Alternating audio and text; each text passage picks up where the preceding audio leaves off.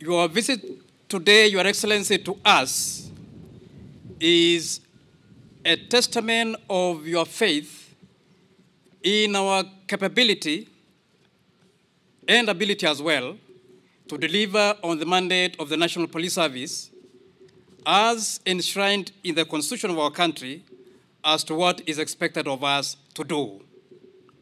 We will do that, Your Excellency, with fidelity to the law and in strict conformity with what the law requires us to do. And we will not fail you, Your Excellency. In compliance with the instructions you issued last week to us, Your Excellency, about